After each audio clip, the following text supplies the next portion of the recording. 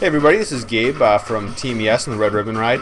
Just want to do a little video to uh, let some of the new riders know about some of the things that they should know about on the ride this year.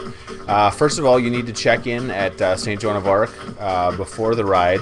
Uh, there's an option this year for dropping some of your gear off, so you check in, go through a little ride instruction video, learn about the ride, some safety things, make sure that you check in the rest of your money.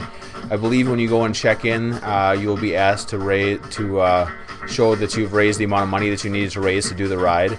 Um, and then if you don't raise, I think you have to raise up to first thousand dollars, and then you can self-pledge the 500 after that. Um, so you do need to raise your money. So that would be a big thing for riders that are first-year riders this year. Get out and uh, raise the money that you need to raise for the ride, and uh, let everybody else know if you need help in raising your money because there's a lot of different fundraising options out there, and uh, certainly there are the people that have done the ride in the past that can help you with ideas for raising more money to help you with the ride this year. Um, let's see.